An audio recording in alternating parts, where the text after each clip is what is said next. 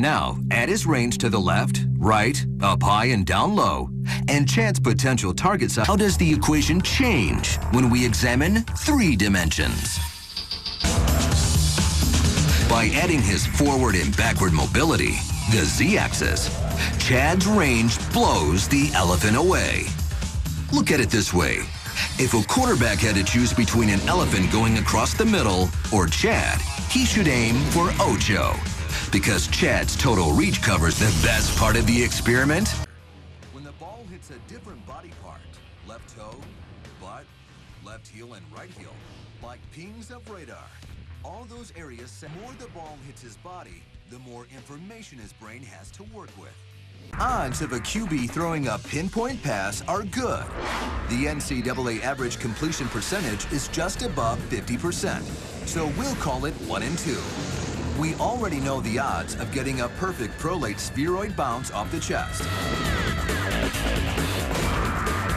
1 in 180. A perfect bounce off the foot? Again, 1 in 180. Finally, what are the chances that Davison is in diving range? According to our statistician, no better than 1 in 50.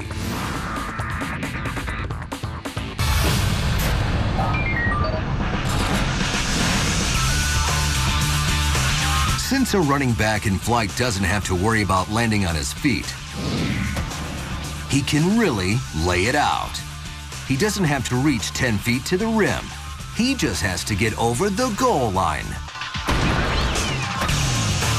Dominic's maximum flight soared a stunning seven yards horizontally and almost six feet vertically. Plenty of air to clear a morphing line of scrimmage. But Dominic's flight was unchallenged, so we wanted to dial up the difficulty. Now, add his range to the left, right, up high, and down low, and Chad's potential target size balloons, how does the equation change when we examine three dimensions? By adding his forward and backward mobility, the z-axis, Chad's range blows the elephant away. Look at it this way. If a quarterback had to choose between an elephant going across the middle or Chad, he should aim for Ocho. Because Chad's total reach covers the best part of the experiment,